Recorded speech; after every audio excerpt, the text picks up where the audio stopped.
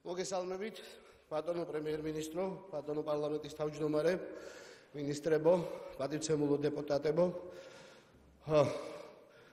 ალბათონო უზნეს სასამართლოს თავმჯდომარე, ბატონო საკონსტიტუციო სასამართლოს თავმჯდომარე. მოგესალმები. აჭარის და აფხაზეთის თავრობებს, მოგესალმები დიპკორპუსს, მოგესალმები საზოგადოებას. გილოცავთ ხარების წინვალე დღესასწაულს გასულ წელს ნოემბერში ახალი ახალ პარლამენტს მიუმართე და მაშინ მოხსენებით შევეხე ქვეყნისთვის უმნიშვნელოვანეს საკითხებს. მაშინ მოგახსენეთ რომ ახალი საკონსტიტუციო უმრავლესობის შექმნა აჩენდა ძალაუფლების კონცენტრაციის საფრთხეს, მაგრამ ამავდროულად აჩენდა თამამი რეფორმებისა და ინიციატივების შესაძლებლობასაც. რა მივიღეთ 5 თვის თავზე? სავარაუდო საფრთხე იქცა სერიოზულ პრობლემად, ხოლო რეფორმების დინამიკა მაინც და მაინც არ არის შთამბეჭდავი. სამწუხაროა, რომ მართლმა პოლიტიკურმა ძალამ პრაქტიკულად უარი თქვა დიალოგზე და ჩაიკეტა საკუთარ თავში. ამ ფონზე მივესალმები დღევანდელ გადაწყვეტილებას, რომ პარლამენტში ჩატარდეს დებატები. მე არაერთხელ მithქვამს, რომ არჩევნებში გამარჯვების შემდეგ საქართველოს ყველა მოქალაქის პრეზიდენტი ვიქნებოდი. ზუსტად ასევე თქვენს პარტიული კუთვნილების მიუხედავად ყველას ministrები და თლიანად საქართველოს პარლამენტი ხართ. და მე ველოდები იმ დროს, როდესაც გამარჯვებული ძალა დაიწყებს მოკავშირეების და არა ტრების ძებნას, რადგან ჯერა, რომ ყველაზე მაღალი ამბიცია, რაც შეიძლება პოლიტიკოს ჰქონდეს, ეს საზოგადოების გამთლიანება. ამიტომ არაერთხელ მოგიწოდეთ დიალოგისკენ, ინსტიტუციური თანამშრომლობისკენ. სწორედ ამ სულისკვეთებით სულ ახლახანს მე დავიწყე კამპანია კონსტიტუცია ყველასია. იმისთვის, რომ ქართულ საზოგადოების ფართეფენები აქტიურად ჩაებან კონსტიტუციური ღირებულებების განხილვისა და თანხმობის ძირითადი პრინციპების ჩამოყალიბებაში. იმედი მაქვს, რომ ასეთი დისკუსიები უფრო გააერთიანებს ჩვენ საზოგადოებას, ხალხის ხმა კი უფრო გასაგები გახდება. ამ შეხვედრებზე ცხადად ჩანს, რომ ჩვენ საზოგადოებას აქვს ბევრი საინტერესო მოსაზრება ქვეყნის მოწყობის ძირითად პრინციპთან დაკავშირებით. საკონსტიტუციო კომისიის წევრებს მინდა მოგახსენოთ, რომ ხალხს უნდა მეტი დემოკრატია, თვითმართველობის არა შესუსტება, არამედ გაძლიერება. განათლების ხელმისაწვდომობა, საყოველთაობა, მეტი არჩევითი თანამდებობა და ამ თანამდებობის პირთა ანგარიშვალდებულების გაზრდა. საზოგადოების მხრიდან კონტროლის მექანიზმების გაძლიერება, საზოგადოებას სურს მეტი ჩართულობა გადაწყვეტილებების მიღების პროცესში. და კატეგორიული ასახვა კონსტიტუციაში იმ სოციალური დაცვის შესაძლებლობების, რომელიც ეხება მათთვის ტკივნეულ საკითხებს. არ შეიძლება ხალხს წავართვათ პრეზიდენტის არჩევის უფლება. პრეზიდენტის არჩევის წესი დღევანდელი ან ხვალინდელი პრეზიდენტის, დღევანდელი ან ყოფილი პრემიერის სულზე არ უნდა იყოს დამოკიდებული, დამოკიდებული არამედ ხალხის საჭიროებებზე და რეალურად დაბალანსებულ კონსტიტუციაზე. გუშინ საზოგადოებასთან შეხვედრისას ნათლად დაფიქსირდა ქუთაისის მოსახლეობის სურვილი, რომ პარლამენტი დარჩეს ქუთაისში და ცხარე კამათის მიუხედავად მე მათ დავპირდი რომ ამ სურვილს დავაფიქსირებდი დღეს აქ ჩვენ საზოგადოებას ჭირდება ეროვნული ერთიანობის განცდა თანადგომა და მნიშვნელოვანი გადაწყვეტილებების მიღებაში თანამონაწილეობა. ამიტომ მოусმინოთ ხალხს.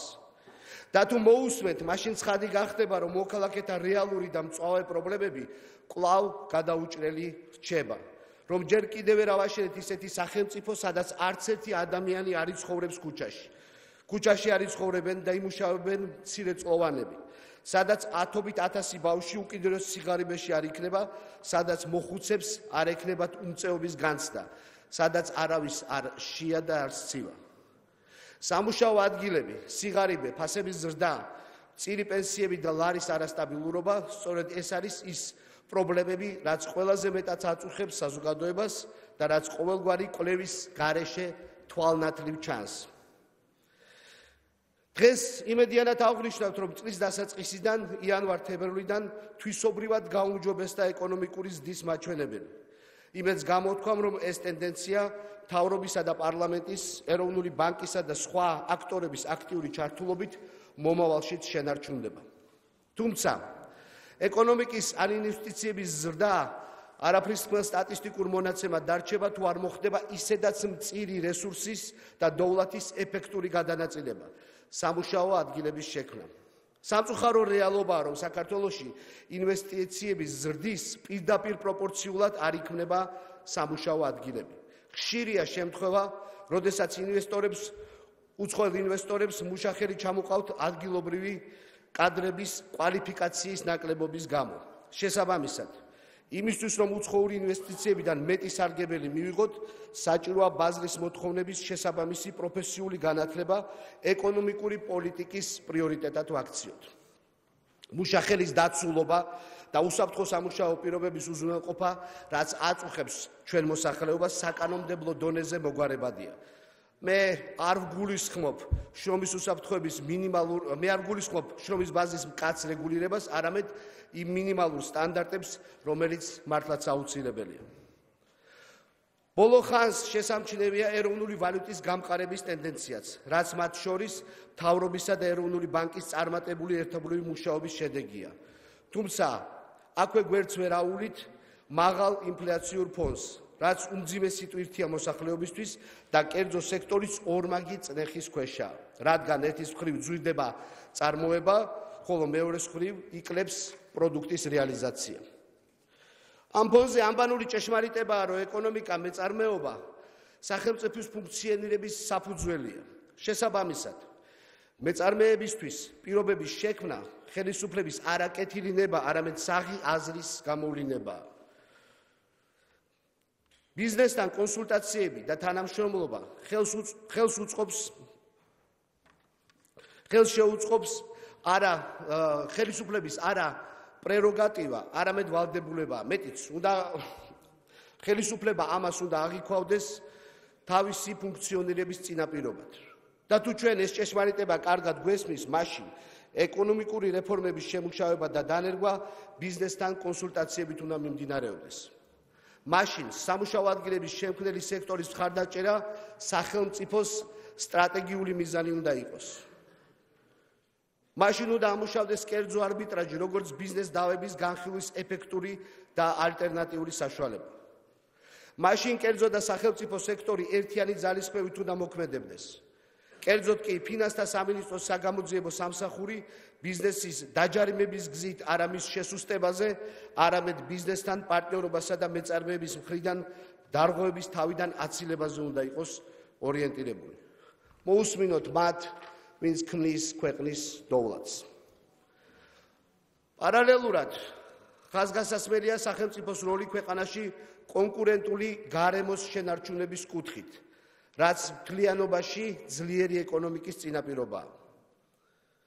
თვალი გაუსწოლოთ ბოლოდროინდელ ტენდენციას, როდესაც მსხვილი ბიზნესი კიდევ უფრო მსხვილდება შედარებით მცირე ბიზნესის შესყიდვა შერწყმის ხარჯზე. ეს განსაკუთრებით თვალსაჩინოა საფინანსო სექტორში, სადაც არაპროფილური მიმართულების მქონე კომპანიები ჰოლდინგებში ერთიანდებიან და ეკონომიკის სხვადასხვა სექტორში ბაზრის კონტროლისკენ მიუტვიან. ასეთ პირობებში მცირე და საშუალო ბიზნესი ვერ გაძლიერდება და ვერ გადაიჭრება უმუშევრობის პრობლემას. ამ პირობებში მომხმარებელთა უფლებებიც დაუცველია ფასწარმოქმნის ნაწილში. ამიტომ საჭიროა კონკურენციის კანონის უფრო ქმედითად ფორმულირება და აღსრულება კონკურენციის სააგენტოს მიერ. გასაგრძელებელი და გასაღმოვებელია ის პოზიტიური პროექტები, რომელსაც საქართველოს მთავრობა ახორციელებს. აწარმოე საქართველოსში სტარტაპ საქართველო დანერგემომავალი და სხვა მათ შორის განსაკუთრებით მნიშვნელოვანია მსხვილი ინფრასტრუქტურული პროექტები რომლებიც მომავალში ქვეყნის სატრანზიტო ლოჯისტიკურ და ტურისტულ პოტენციალს გაზრდის ფიქრობ ასევე თამამი ნაბიჯი იქნებოდა კაპიტალის ბაზრის განვითარება, რაც გძელვადიან და ალტერნატიულ ფულად რესურსს გააჩენდა კერძო სექტორის გასაძლიერებლად. ამასთანავე საპენსიო რეფორმის დროული განხორციელება ამ სტრატეგიას უფრო ეფექტურს გახდიდა. ქვეყნისთვის გადამწყვეტია ეროვნული წარმოების მეტად სტიმულირება. სწორედ ამ მიზანს ემსახურება ჩემს მიერ დაწყებული კამპანია მოითხოვე ქართული, რომელიც ხელს უწყობს ქვეყნის ეკონომიკის ზრდას, დამატებითი სამუშაო ადგილების შექმნას და ეროვნული ვალუტის გაძლიერებას. ამ პროექტის ფარგლებში ეროვნული წარმოების პოპულარიზაციის პარალელურად ჩვენ შექმნით დაგროვების ბარათი, რომელიც მომხმარებლის მომხმარებელს ქართული პროდუქციის შეძენის შემთხვევაში მისცემს ქულების დაგროვების შესაძლებლობას. ამ ბარათის პირველი მფლობელები თქვენ გახდებით, ასე რომ მოგიწოდებთ მოითხოვეთ ქართული. ზემოთ ჩამოთვლილი ეკონომიკური და სოციალური პრობლემების მოგვარება, რა თქმა უნდა, მარტივი არ არის. მათი გადაწყვეტა გადაჭაჭულია ევროპული ინტეგრაციის პროცესთან. ამ ხრივ კი ჩვენ ნამდვილად წინ გადავდგით ნაბიჯები. გასული წლის 1 ივლისიდან ამოქმედა ასოცირების და თავისუფალი ვაჭრობის შეთანხმებები. ძალაში შევიდა შენგენის ზონაში უვიზო მოკლევადიანი მიმოსვლის რეჟიმი. მაგრამ ჩვენ მიღწევლით არ უნდა დავკვაყოფილდეთ. საქართველოს დეკლარირებული და საბოლოო მიზანი ევროპულ სახელმწიფოთა ისტორიულ ოჯახში დაბრუნება. იგივეს ადგენს გასული წლის 29 დეკემბერს საქართველოს პარლამენტის რეზოლუცია ქვეყნის საგარეო პოლიტიკის პრიორიტეტების შესახებ. მივესალმები რეზოლუციის სულისკვეთებასა და მიზნებს. ამიტომ უნდა დავიწყოთ აქტიური მუშაობა ევროკავშირის აპლიკანტ სახელმწიფოდ ჩამოსაყალიბებლად. ამისთვის საჭიროა დემოკრატიის გაძლიერება, ინსტიტუტების მდგრადობა, ადამიანის უფლებათა დაცვა, კანონის უზენაესობა, ეკონომიკის განვითარება და რეალურად მოქმედი ევროპული სამართლებრივი სისტემის შექმნა. საგარეო პოლიტიკურ ამოცანად შეება ევროპა-აზიის სატრანსპორტო დერეფნის გაფართოება და ამ მიმართულებით ახალ პროექტებში მეტი სახელმწიფოს ჩართვა, რაც საქართველოს უსაფრთხოების და კეთილდღეობის გარანტიაა. საგარეო პოლიტიკის მიზანია უზრუნველყოფთ მეგობარ ქვეყანათა მეტი ჩართულობა საქართველოს ევროპული და ევროატლანტიკური ინტეგრაციის პროცესებში და მაქსიმალურად გამოვიყენოთ ბალტიის, სკანდინავიის, ვიშეგრადის ჯგუფისა და მეგობარ ქვეყნებთან თანამშრომლობის სხვა ფორმატები. დღეს თეთრი სახლის ახალი ადმინისტრაციის პირობებში უნიშნულოვანესია ქართული პრობლემატიკის კიდევ უფრო გააქტიურება და ვაშინგტონის რადარებზე საქართველოს პრობლემატიკის კიდევ უფრო აქტიური ასახვა. თანამშრომლებისა და პარტნიორობის აქტიური პოლიტიკის წარმატების მაგალითია არაღიარების პოლიტიკა, რომელსაც ქართული სახელმწიფო და პარტნიორები წარმატებით ვახორციელებთ. ამ წარმატების საპასუხოდ რუსეთის ფედერაცია დგამს ნაბიჯებს საქართველოს ოკუპირებული ტერიტორიების ფაქტობრივი ანექსიის მიმართულებით.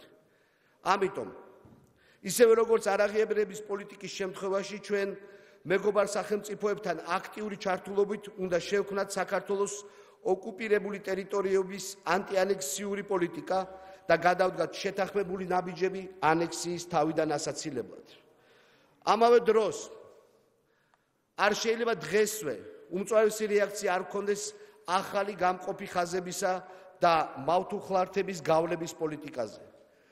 გალის რაიონის სკოლებში ქართულენოვანი სწავლების შეზღუდვაზე, ადამიანების გატაცებისა და ოკუპირებულ ტერიტორიებზე კულტურული ძეგლების ხელყოფის ფაქტებზე.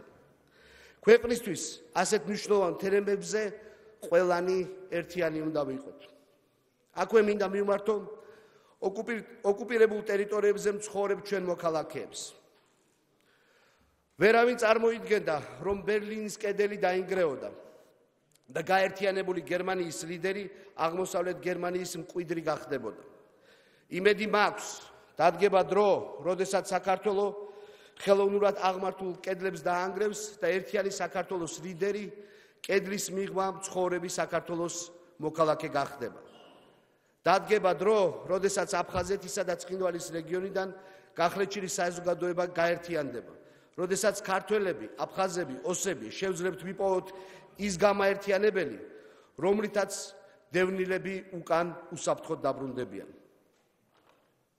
დაცული მოქალაქე, დაცული საზოგადოება, დაცული სახელმწიფო არის სახელმწიფოს უსაფრთხოების ქვაკუთხედი.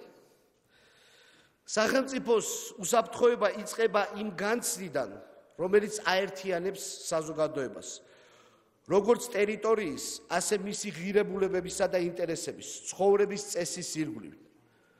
სწორედ ეს თანხმობა აყალიბებს უნარს შევეწინააღმდეგოთ დამყრობელს.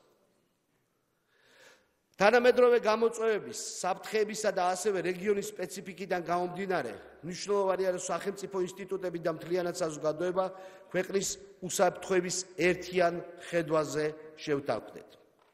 სწორედ ეროვნული უსაფრთხოების ერთიანი მიდგომის ჩამოსაყალიბებლად დავავალე ეროვნული უშევების საბჭოს აპარატს დაეწყო საჯარო დისკუსიები ამ დისკუსიების შედეგად ჩვენ შევთანხმდებით ეროვნული უსაფრთხოების ერთიან მიდგომაზე რომლის განხორციელება სახელმწიფოს შეარაღებულ ძალებს და საზოგადოებას ერთიან თავდაცვით სისტემად აქცევს.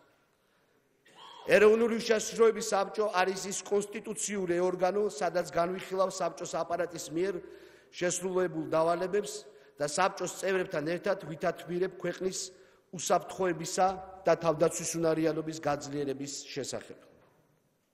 პარალელურად უნდა განახდეს ქვეყნის ეროვნული უსაფრთხოების კონცეფცია შემუშავდეს ეროვნული უსაფრთხოების სტრატეგია და დაიხვეწოს ეროვნული უსაფრთხოების სისტემა. გასულ წელს ეროვნული უშიშროების საბჭოს ხდომაზე მხარი დაუჭირე თავდაცვის სამინისტროში განხორციელებულ რეფორმებს. რეფორმის განხორციელებაში და თავდაცვის უნარიანობის ამაღლებაში გვეხმარება ამერიკის შეერთებული შტატების მიერ მხარდაჭერილი საქართველოს თავდაცვის ზატყოფის პროგრამა და ნატოს მიერ მხარდაჭერილი ნატო-საქართველოს არსებითი პაკეტი. ძლიერ პროფესიულ არმიასთან ერთად ქმედუნარიანი სამხედრო რეზერვისა და მობილიზაციის სისტემა თავდაცვის უნარიანობის მნიშვნელოვანი შემადგენელი ნაწილია. ჩვენ განვიხილეთ თავდაცვის სამინისტროს მიერ წარმოქმნილი სამხედრო ძალების რეზერვის განვითარებისა და მართვის კონცეფცია. მიმაჩნია, რომ კონცეფცია მხარდასაჭერია და დაიმსახურებს საზოგადოების ნდობას. სწორედ რეზერვისა და მობილიზაციის განახლებული კონცეფციის ჭრილში ხედავ სამხედრო სავალდებულო სამსახურის აღდგენის საკამათო საკითხის საბოლოო გადაწყვეტას. მივესალმები განახლებულ მიდგომას, როდესაც თითეული ახალწეული გაივლის საწყის საბრძოლო მომზადების სამთვიან კურსს, მაგრამ მიმაჩნია, რომ სამხედრო სავალდებულო სამსახური მხოლოდ ქვეყნის თავდაცვის უნარიანობას უნდა ემსახურებოდეს და ამიტომ სახელმწიფო უწყებები იმ ფუნქციების განსახორციელებლად, რომლებსაც დღეს წვევანდელები ახორციელებდნენ, უნდა ეძებდნენ ალტერნატიულ რესურსებს. კიდევ ერთხელ მინდა მადლობა უთხრა ქართულ მებრძოლებს, მათ ოჯახებს, სამშობლოს, სამსახურისა და თავდაცვებისთვის. ქართული ჯარისკაცი აძლიერებს ქვეყნის საერთაშორისო ავტორიტეტს და მის იმიჯს და არის ერთიანი, ძლიერი, თავისუფალი სახელმწიფოს გარანტი. ქართული მებრძოლის ზღვაწლი შეუფასებელია საქართველოს ნატოში ინტეგრაციის გზაზე. ნატოს ვარშავის სამიტზე პრიორიტეტად შენარჩუნდა საქართველოს ნატოში გაწევრიანების პერსპექტივა. ასევე საქართველოს შავი ზღვის უსაფრთხოების სტრატეგიული დიალოგის მონაწილედ მიიწვიეს. შავი ზღვის უსაფრთხოება საქართველოსში იწყება. უსაფრთხო შავი ზღვა კი რეგიონში ეკონომიკური თანამშრომლობისა და გრძელვადიანი მშვიდობის წინაპირობაა. სწორედ ამიტომაა აუცილებელი საქართველოს აქტიური ჩართულობა შავ ზღვაზე უსაფრთხოების არქიტექტურის მშენებლობაში. მომავალ ბრიუსელის სამიტზე და მისი ფორმატიდან გამომდინარე საქართველოს არ იქნება წარმოქმნილი. მიუმართავ ჩვენი ქვეყნის სტრატეგიული პარტნიორების პარტნიორი ქვეყნების ხელმძღვანელებს და მათ წარმომადგენლებს პატივცემულ ელჩებს.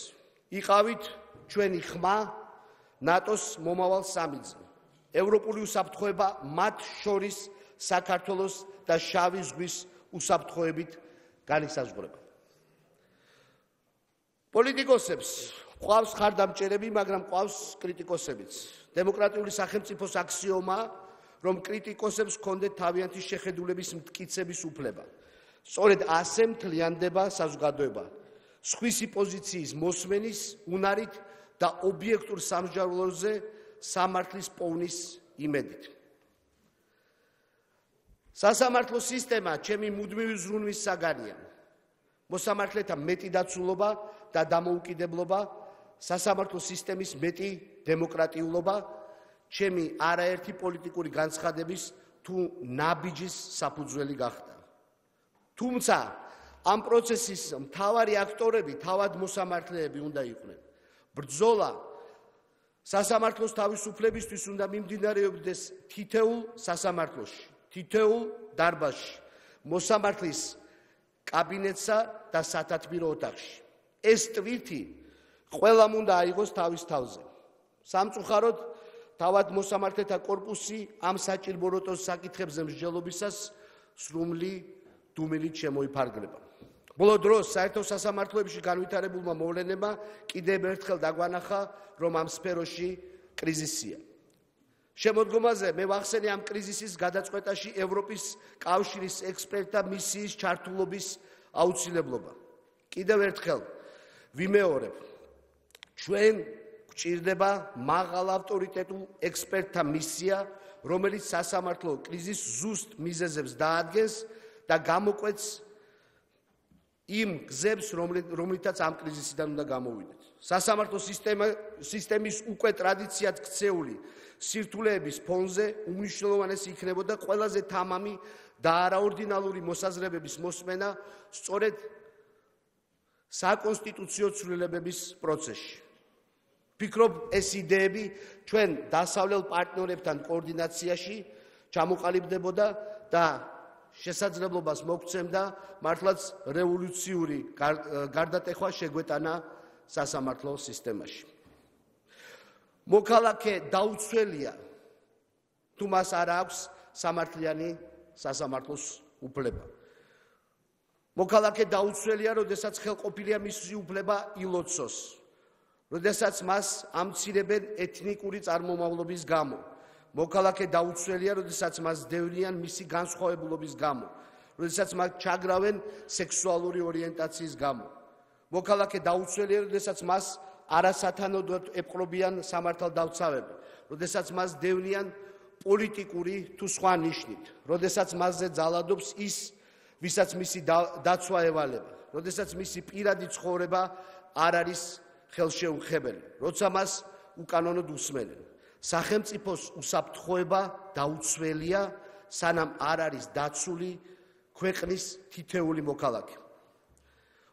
უახლოეს ხანში თქვენ ამ ტრიბუნიდან სახალხო დამცველი მოგმართავთ მოხსენებით, რომელშიც ბევრ პრობლემურ საკითხზეა გამაყურებული ყურადღება. სახალხო დამცველი კონსტიტუციური თანამდებობა და მის მიერ წარმოქმნილი ანგარიშის ადეკვატური რეაგირება სახელმწიფოებრივად მნიშვნელოვანია. შესაბამისად სახალხო დამცველის ანგარიშის ანალიზი და გათვალისწინება ბევრ საფრთხეს აგვაცილებს. გვახსოვდეს ერთეულ გადაცდომებზე მკაცრი რეაგირება თავიდან აგვარიდებს მახინჯი შემთხვევების სახელმწიფოებრივად საშიშ ტენდენციად ჩამოყალიბებას. გვახსოვდეს ასეულობით ჩვენი მოქალაქეები ელოდება რეაგირებას სამართალდამცავების მხრიდან ძალის გადამეტების, უკანონო პატიმრობის, სამართლიანი სასამართლოს შეზღუდვის, ხანდაზმულების, ბავშვების და შეზღუდული შესაძლებლობების მქონე პირთა უფლებების დარღვევის, რეპრესიული ნარკოპოლიტიკის, გარემოზე დამაზიანებელი ზემოქმედების თუნდაც ერთეულ შემთხვევებზე. მცდარია შეხედულება თითქოს პოლიტიკური რეაგირება აუცილებელია დანაშაულების სისტემურად ჩამოყალიბების დროს პრევენცია ერთეულ შემთხვევაზე პრინციპული რეაგირებით იწყება. რაც შეეხება კრიმინოგენულ ვითარებას, რაც ასევე აღელვებს საზოგადოებას. ადრეთ მithქვავს კრიმინალთან ეფექტური ბრძოლისთვის გადამწყვეტია უწყებათა შორისი და ამავე დროს საზოგადოების გამაერთიანებელი პროგრამები. ასეთი თანამშრომლობის კარგი მაგალითია ოჯახური ძალადობის წინააღმდეგ მიმართული კამპანია, რომელიც ერთობრივად განახორციელა სახელმწიფოს რამდენიმე უწყებამ და რომელმაც მნიშვნელოვანი წარმატებას მიაღწია. ასეთი პროგრამების განხორციელებაში გიდასტურებ ჩემ ხარდაჭერას. მინდა მიმართო ქართულ მედიასაც. თქვენ ასაჯაროვებთ დემოკრატიის წყაროს, ხალხის ხმას. თქვენ აკონტროლებთ ხელისუფლებას და აკრიტიკებთ გადაცდომებს. თქვენ ქმნით საზოგადოებრივ აზრს. ეს ნიშნავს, რომ თქვენ ქართული მედია რეალურად ჩამოყალიბდით როგორც მეოთხე ხელისუფლება და თქვენი ქართული მედიის როგორც შემდგარი ხელისუფლების შტოს ეფექტური მუშაობა თავისუფალ გარემოში აუცილებელია სახელმწიფოს სწორი ფუნქციონირებისათვის. ჩვენ ვნახეთ, რამდენად კონსოლიდირებულნი იყავით, როდესაც რამდენიმე თქვენთაგან საფრთხე შეექმნა. ჩვენ ვნახეთ, რამდენად ეფექტურად მოახდინეთ არა მხოლოდ კოლეგების, არამედ ქართული საზოგადოების გაერთიანება დემოკრატიული დემოკრატიის ფუნდამენტური პრინციპის სიტყვის თავისუფლების დასაცავად. მედიაში განვითარებულმა მოვლენებმა ცხადად გამოკვეთა, რომ თქვენი ძალა თქვენს ერთობაშია. მე ვისურვებდი კიდევ უფრო მეტად გაძლიერდეთ. მზად ვარ დაგეხმაროთ ეფექტური დიალოგის გაღრმავებაში სისტემური და კომპლექსური გაძლიერებისათვის.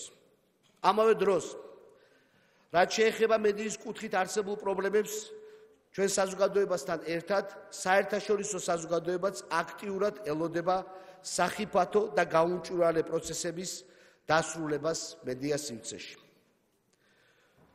დემოკრატია მეტი დემოკრატია არის პასუხი ყველა პრობლემაზე, მათ შორის ადგილობრივი ხელისუფლების მიმართულებით. ადგილობრივი პრობლემის მოგვარების ბერკეტი დეცენტრალიზაციასა და მეტარჩევითობაშია. მიმართავ პოლიტიკურ პარტიებს. ახლოვდება თვითმართველობის არჩევნები. ჩვენ გვჭირდება რეალური თვითმართველობა, გვჭირდება საარჩევნო რეფორმა და ამ საკითხებში თქვენს კონსოლიდირებულ ძალისხმევას უჭერ ხარს. მაგრამ უნიშნულოვანესია ჩვენ საზოგადოებას ახალი არჩევანი ძლიერმა პოლიტიკურმა აქტორებმა შესთავაზონ. ქართული დემოკრატიისთვის სასიცოცხლოდ აუცილებელია ძლიერი პოლიტიკური მოთამაშეების ჩამოყალიბება. მოძებნეთ გამაერთიანებელი იდეები.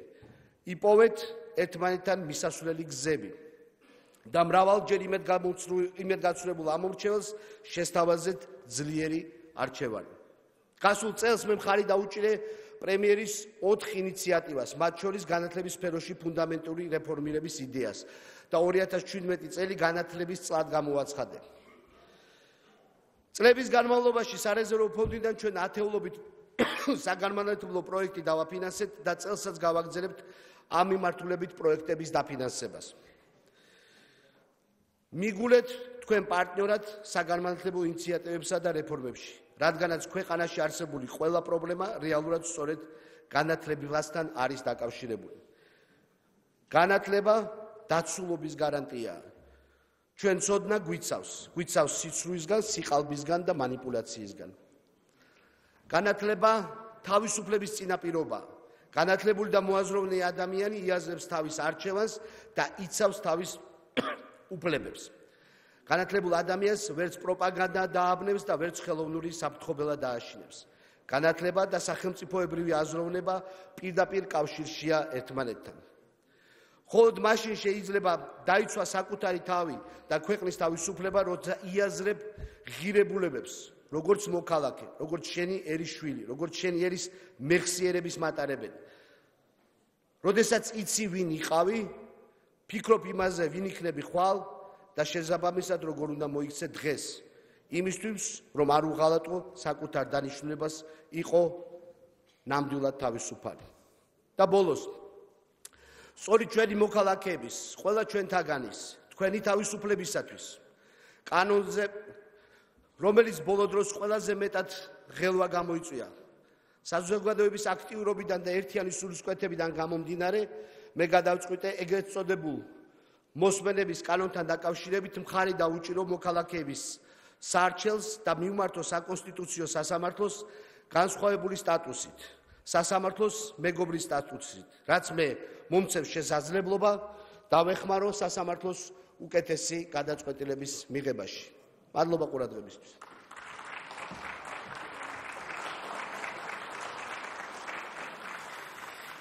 მადლობთ ბატონო პრეზიდენტო